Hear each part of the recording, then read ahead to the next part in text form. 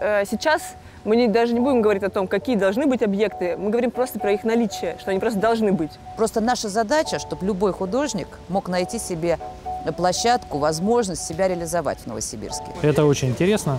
Но еще раз хочу попросить, только не на стенах зданий. Давайте мы посидим здание, да. И это такой своеобразный рейтинг. То есть ты смотришь, какие работы ты можешь позволить себе закрасить, какие э, ты хочешь оставить, чтобы они дольше прожили. Мне интересно, как это будет жить в Новосибирске. Здесь хочется сделать такое место, куда представители уличной культуры будут приходить и чувствовать себя как дома.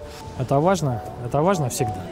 Особенно, если это талант. Талантливое произведение всегда востребовано. Для нас очень важно, чтобы таких проектов становилось больше, и они масштабировались. Сейчас мы даем возможность каждому, каждому новосибирцу, и не только и гостям города, выразить вообще свою историю. Когда у него возникает хотя бы желание, он может попробовать.